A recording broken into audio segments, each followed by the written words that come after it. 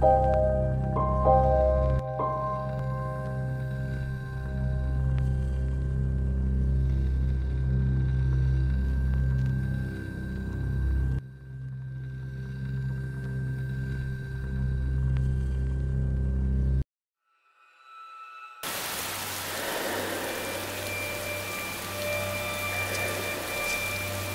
memories of what I had done were coming back slowly. Like the tide washing ashore the rotten corpses from a wreck. Selena was lighter than a pillow. The real weight was all those years of filth stored in my memory. Images the blade I sunk deep into the stomach of my own mother. Those dark-haired women. Those hated clones of Margaret, split from head to toe as a sacrifice to the moon. Their organs displayed carefully, like some child fresco. Selena on the stage of smoke and mirrors the glass I used to toast with her. The first time we talked. Her tears. The letters in which she told me about losing her kid. How her husband had been murdered.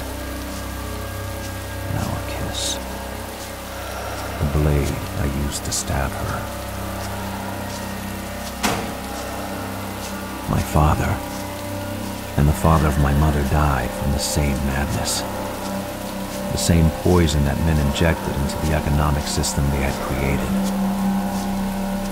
On October 29th, 1929, millions of casualties, the scent of blood, and for the wolves, the beginning of the hunt.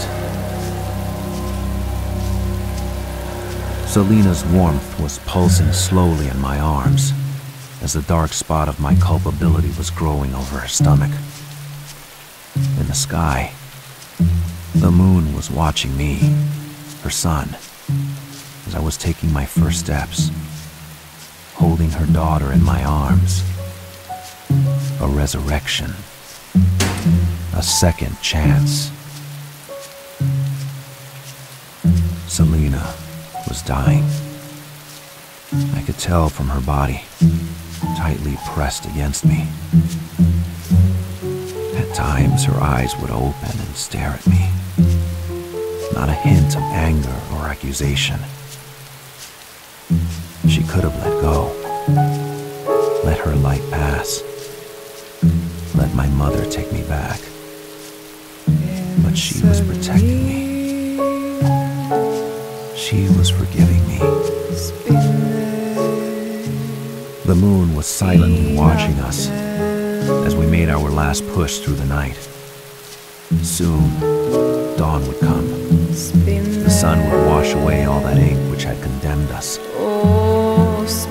Goodbye, Luna. Goodbye, Mother. This night had been too long already. In nature, forgiveness is part of a whole. It's part of a cycle a time frame of harmony. We had been waiting long enough. I was trying to keep Selena warm as best as I could while she was holding on to my hand.